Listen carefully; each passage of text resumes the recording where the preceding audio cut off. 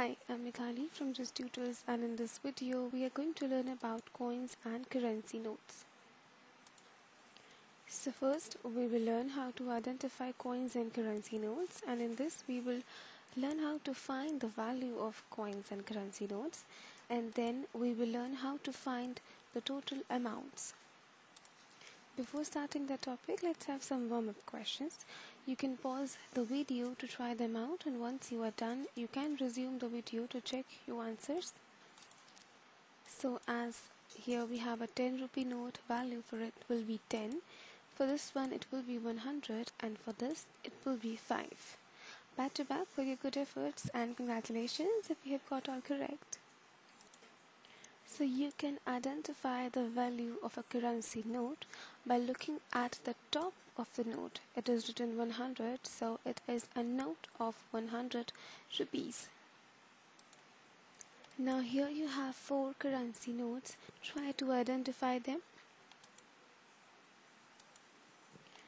So as this one, this is 50 rupee note and you can look at the top as we have 50 written over here so that's 50 rupees. And it's a 20 rupees note it's a 5 rupees note and here we have a 2 rupees note. Now you have some coins over here. Try to identify these coins. So as we can see 5 written over it. This is 5 rupees. And in a similar way we can find the worth of every coin over here. So it's a 10 rupees coin that's a 2 rupees coin and it is a 1 rupee coin. Now let's move ahead. So how to find the total amount? If we need to find the total amount of the given notes we can add their values and here we have three notes 100 rupee note a 10 rupee note and a 5 rupee note. So if we add all of them we will get 115 rupees. Alright so now you have two questions over here. Try to solve them and you can pause the video. Once you are done with the answers you can resume it to check your answers. Alright so let's check the answers. Here you have 500 rupee note a 100 rupees note and a 50 rupees note and 1 rupee coin. If you add 100 to 500 it will be 600 and if you add 50 to it that will be 650 add 1 will become 651 rupees.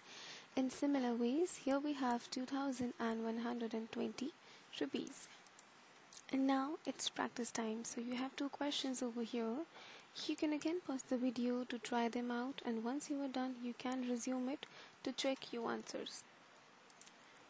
So answer for question number 1 would be 96 rupees and for question number 2 so Vineet has one 2000 rupee note that will be 2000 5 100 rupees note it will be 500 then.